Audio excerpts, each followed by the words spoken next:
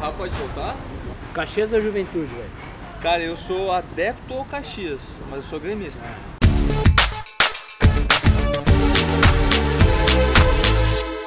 Fala galera do Raquetadas, é, estamos aqui para mais um No Edge, pô, No Edge, esse negócio tá ficando sério, hein, velho.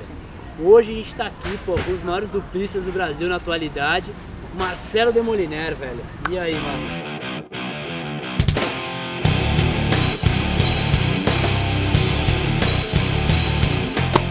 Beleza? Pura. Obrigado pelo convite, é um prazer sempre. Que é isso, velho. Obrigado a você. Pra quem não sabe, cara, a gente tá direto do Brasil Open aqui no Pinheiros, em São Paulo. Um começo de ano que pro tenista brasileiro é especial, né, velho? Porque joga no Rio, joga em São Paulo, é uma oportunidade que pro resto do ano, praticamente, para caras que estão jogando torneios de alto nível que nem vocês, praticamente você não joga mais esse ano no Brasil.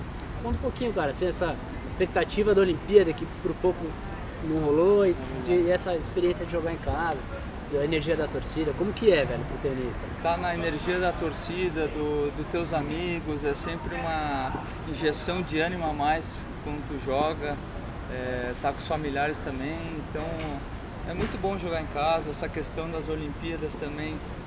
É, bateu na trave, bateu né, na trave. Se eu tivesse ganho o jogo da primeira rodada de Roland Garros, eu entrava. E eu perdi dois match points. Ah, nada. Olha o que é o tênis, velho. A galera, pô, isso, isso é legal, velho, você falar, porque esse, esse lado, porra, do, dos bastidores, uma coisa que às vezes as pessoas nem percebem que a gente quer trazer no raquetado. É então você vê, velho, os caras acham que o tênis é só o glamour lá, mas olha o detalhe, velho, com um esporte como o tênis te traz. Foi um dois match points que você teve. Um pontinho. Te levava numa Olimpíada, provavelmente te projetaria. Cara, Demoliner foi um cara que pô, surgiu como um dos tenistas mais promissores do Brasil de simples, chegou a 232, se eu não me engano, se minha colinha tá certa. Como foi essa transição, velho, do, do juvenil pro profissional, teu começo como profissional? E quando que veio a decisão de focar mais em dupla, que hoje é o teu foco? Claro, com 20 anos eu ganhei um Challenger, que foi até surpresa, porque quando eu joguei esse Challenger, eu nunca tinha ganho nenhuma partida em Challenger. Jogou e já Joguei foi? Joguei e ganhei o Challenger, foi, em Blumenau, em 2009. E foi uma das poucas vezes assim que eu senti que eu estava naquela chamada de zone, sabe? Naquela é. zona de concentração, sabe? Certo. Que eu fazia tudo que eu queria e dava certo. E até que na, na final eu joguei contra o Rogerinho e foi 6-1, 6-0.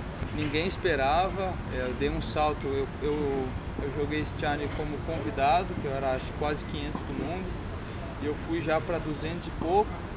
Daí eu ganhei uma confiança tão grande que depois eu tive outros bons resultados nesse mesmo ano, que foi BH, que era um challenger lá em Belo Horizonte, depois Campinas, que BH eu joguei contra os Ebalos, que era top 100 foi 6-3-6-0, foi inacreditável. No, no, em Campos Jordão, eu ganhei do Ricardinho Melo nas quartas. Perdi, tava voando, né? Tava voando. Então, depois de Campos Jordão, que daí eu tive uma lesão grave no, no pé, que eu fiquei mais de oito meses parado. Isso então, quebra, né? Isso quebra, Puta, porque quebra tu tem que voltar todos os pontos de novo, tem que voltar confiança, ritmo de jogo. Então, daí Dois anos depois eu consegui a confiança de novo, fiz final do mesmo challenge em 2011. É, voltei a 234 e machuquei de novo. É, depois quando eu voltei eu estava indo bem nas duplas e eu vi um outro caminho a ser percorrido. É, eu sempre joguei muito agressivo, né? De, de idas para rede e o habitat ali eu gostava na, na rede. Foi aí que foi uma decisão esperta, acho, da minha parte, de, de, focar nas duplas. No ano que eu ganhei sete challengers com feijão, que a gente fez um grande ano, que eu fiquei ali entre os 70 do mundo de dupla, foi aí que eu comecei a jogar mais os ATPs e tal. Eu não conseguia jogar assim, não conseguia conciliar os dois. E como eu vi que o meu físico, ele era entre aspas frágil, eu sofria muito com com cãibras e tal, e eu tinha bastante lesões por causa disso. E o que, que eu fiz? Como eu estava indo bem nas duplas, e é, meu sonho sempre foi jogar os grandes torneios, e eu já estava conseguindo por esse caminho, e vendo que o Bruno Soares, o Marcelo Melo, o André Sá, principalmente eles me dando muitas dicas, diz, diziam que eu poderia chegar lá também foi também um, uma injeção de ânimo para para eu fazer essa decisão. Sensacional. Eu ia te perguntar isso, porque os eles, três. Eles, eles influenciaram muito também. Imagino quanto eles devem ter te influenciado. Isso que eu ia te perguntar, porque são caras que tomaram essa decisão em algum momento da carreira e que deram super certo. Então eu imagino que eles estão servindo de exemplo para outros caras mais novos, que eles, não vou falar que foi tarde, mas são caras que tomaram essa decisão já com uma certa idade. E eu acho que talvez, você acha que, que essa, esse sucesso deles pode fazer caras, de repente até mais novos que você aí, tomarem essa decisão? Tipo, um moleque de 20 certeza. anos, já puta, vou dupla. Ponto. Porque isso é muito raro né, no Brasil. Com certeza, porque dupla e simples são dois esportes, é completamente diferente. Eh, e realmente eles influenciaram muito isso comigo. Eh, o Fabrício Neis, agora que tem um ano mais a menos que eu, também está focando nas duplas. Isso eu acho que pode ser um resquício Jogando de bem, vocês ganharam isso. challenge juntos, né? É verdade, a gente ganhou na Itália ano Legal. passado no Challenge juntos. É, então acho que tem outros jogadores que também estão é, amadurecendo essa ideia, vendo um outro caminho e vendo que também é possível. Então acho que Então é, foi a decisão certa, você tem. Agora é bola pra frente, tá com o parceiro fixo agora, né, cara? Tô. Que foi uma coisa que desde o ano passado você vem brigando Lutando, tentar encontrar um cara pra ficar de vez, que a gente sabe que na dupla, imagino que faça toda a diferença, né? totalmente, Cruzamento. totalmente Agora tá com o Marcos Daniel, que não é o nosso Marcos Daniel. É verdade. né? É o Marcos Daniel. né? da Nova Zelândia. Como que tem sido, velho? Pô, você conseguiu fechar um cara fixo, você tá falando a importância de, de ter essa, esse treinamento, esse entrosamento, né? É, realmente, eu- a gente oficializou essa dupla fixa esse ano nos trouxe uma tranquilidade de, de para trabalhar. A gente tem a mesma idade de 89. eh, como eu, eu treino na Tênis Root, né, que é uma academia lá no, no Rio de Janeiro, eh, como o Belucci está com o João Suete e o Duda Matos está com o Thiago Monteiro, a gente pegou um, um treinador para nos auxiliar, que eu acho que isso também Faz toda a Faz toda a diferença. né? diferença. A gente começou muito bem esse ano. No, no Australia Open a gente já fez oitavas de final, fez semifinal da TP de Auckland. É, a gente já fez mais um- uns 400 pontos já esse ano. Isso nos deu uma injeção de ânimo também importante para o decorrer da temporada e, e o trabalho eu acho que está sendo bem feito.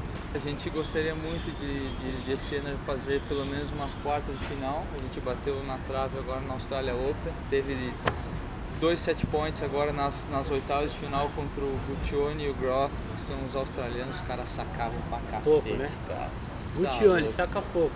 Meu Tá pai dois metros. Dois metros. o Groth tem o saque mais É, potente pô. do circuito, então só pedrada. Só bomba, né? Tá, Eu sei que tem um puta saque, mas aí os pegar os caras é embaçado, né? Pra É devolver ali, Mas, só madeirada. Enfim, Mas chegou perto, pô, e agora tem ainda mais três Grand Slams esse ano pra vocês beliscarem. Pelo menos umas quartas a gente vai estar na torcida, velho. Quero que você conte pra gente, antes da gente fechar, velho, uma história. Você vai escolher a melhor história que você tiver, velho, no circuito, com alguma resenha, com algum cara, com um bom brasileiro que é teu parceiro, alguma situação legal que vocês viveram. Porque para a galera da Arquetados é muito importante, pô, esse negócio de bastidor. Às vezes tem coisas que acontecem que a gente nem sabe. é, meu primeiro torneio ia ser na, em Chennai. Na Índia, na Índia. Chennai, Eu moro no Rio de Janeiro. Meu voo era o seguinte: São Paulo, Catar. Eu tinha que ficar 22 horas esperando no Catar. Depois eu ia para Índia. Porém, eu tinha que sair do Rio de Janeiro. Eu comprei uma passagem Rio de Janeiro para São Paulo. Só que meu voo era às 4 da manhã Então você ia fazer Rio, São Paulo, Chennai. Só que eu comprei um voo, o, o voo mais tarde de, do Rio de Janeiro para São Paulo, porque meu voo de São Paulo era 4 da manhã. Saí tranquilo, peguei meu, meu, meu Uberzinho lá. Eu sempre faço o caminho pela praia para ir para o aeroporto no Rio de Janeiro. Tá, saí, eu botei no GPS, GPS dizia para não ir para a praia. A praia é sempre mais tranquilo, nunca tinha trânsito nem nada. Dizia 1 hora e 50. Uma hora e cinco, normalmente você faz em quanto? Eu faço sempre em 40 minutos. Então, Só errada. que a taipa aqui, o burro, não quis acreditar no GPS. Tá, vamos lá, né? O seu GPS deve estar errado. Tá, vamos pela praia. Sempre voa, né, velho? Sempre vou tranquilo. Chegou na reserva, que é onde tem a praia e duas pistas, uma para ir, uma para voltar. Chegou, estaquei lá, sem mexer. Fiquei parado, perdi o voo de O Rio, Rio São, Paulo. Olhei pro cara do Uber, falei, amigão, toca pra São Paulo.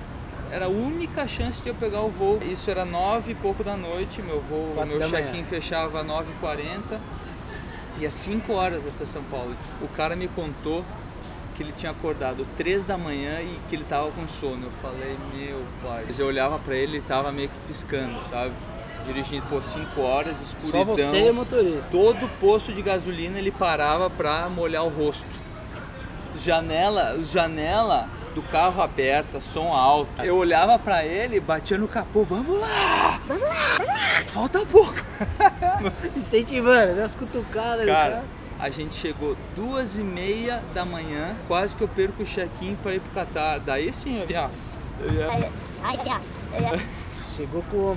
Conseguiu, consegui pegou. pegar o 20 horas no voo, fiquei 20 horinhas no Catar, cheguei na Índia, tranquilo, tranquilo. Tranquilo, chegou tranquilo. Mas essa foi uma história do, 300 raquetes na do mão. início do ano, pra começar bem o ano. Que legal, velho. Então aqui, graças a Deus, a quadra tá uns 100 metros aqui, então você não, Não tem, tem problema, não precisa de nenhum. Uber, É ninguém vai dormir, velho. Meu, boa sorte. Prazer estar aqui. Velho, espero valeu, que a gente esteja aí. dando sorte aí. Obrigado. pelo espaço pela entrevista. Se sempre estiver no. Brasil, as portas raquetadas estão abertas. Quando Beleza? precisar, tamo junto. Rapaziada, Marcelo de Valeu. Moliner, direto com Raquetadas. Um abraço. Valeu.